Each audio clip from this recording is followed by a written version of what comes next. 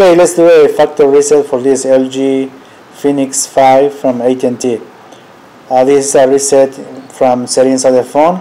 In case that you forgot your password, pattern, or PIN and you're not able to go to settings, I'm gonna leave, leave a link from another video on how to reset your phone using external keys. Uh, so just uh, find that link on the description of this video or in comment section okay right so let's go and open settings. And let's go at the bottom screen at the bottom. Let's go and open system. And then restart and reset. And then factory data reset. Okay open that. And everything is going to be deleted on your account. Um, I mean the, your phone's internal memory like pictures videos contacts downloaded applications and etc etc um, it is very important that you know your Google information like password and email address because after the factory reset uh, you need to confirm or verify Google in order to proceed and get to the home screen. If you're not able to confirm Google, your phone will be blocked permanently. So just uh, make sure that you have that information. So let's go back really quick and um, so this is what you need to know. On the backup section this is the email address google backup. That's the email address that you need to know the password. Um, so make sure that you have you have that information. Okay so let's go back to reset factory data reset. And then at the bottom let's go and reset phone. If you have a password pattern or pin just enter that information there once you have entered that information just hit the ok button. And uh, at the bottom let's go and delete all okay we already went through that everything is gonna, gonna be deleted on your internal memory. And uh, with the same Google account you will be able to retrieve the information. If you are ready just hit delete all. And then reset so here is going to take a few minutes for the phone to uh, properly reboot and you're going to take us to the initial setup screen where you will be able to reset or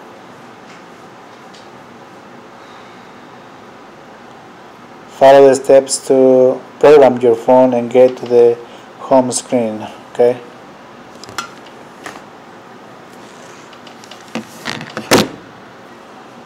So just in case that your phone gets stuck on the AT&T logo for more than 8 minutes, that means something is wrong with the phone. Usually it takes uh, 2 to 3 minutes, okay, so if it take, takes longer, just uh, long press the power key and um,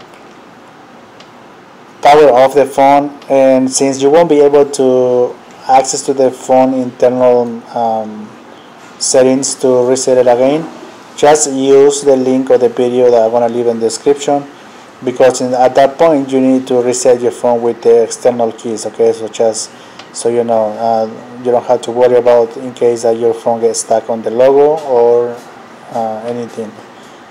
Alright so we are on the initial setup screen. Uh, just uh, let's go and choose a language language and these are the languages that you can use on this LG Phoenix phone okay and just select your uh, favorite language and then hit the arrow.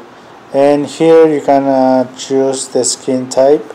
Uh, like this is the difference that the first one is basically it's a full screen so I prefer that one. Uh, mobile network you can set up a uh, Wi-Fi in order to continue or you can insert your active SIM card from AT&T so you can get a, a network to confirm or verify Google. If you are just uh, resetting your phone you don't want to use it under AT&T network, just remove the SIM card to continue. Okay, so you're gonna skip this step anyways. Okay set up your uh, time zone any time zone that you want. And uh, the date. To move the month just use uh, arrow. Hit ok to save. Time minutes AM or PM hit OK to save.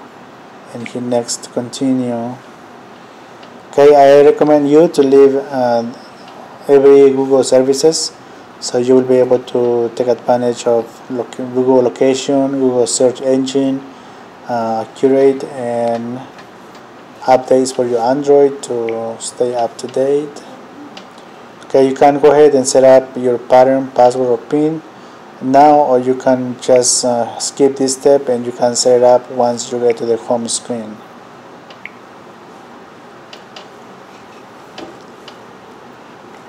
if you have another AT&T phone and you want to transfer all the information to the new one just um, turn that feature on or just leave off.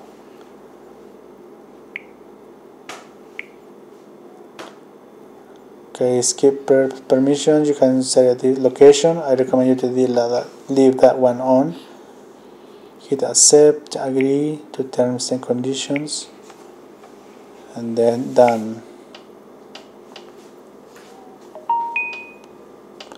Okay so this is how to factory reset this LG Phoenix 5 let me know if you have any questions and please subscribe to the channel. And um, yeah just search my other tutorials related to this AT&T just in case you need help with any other like talkback issue or hard reset or keyboard or any other um, thing okay? Let me know. Thanks so much and subscribe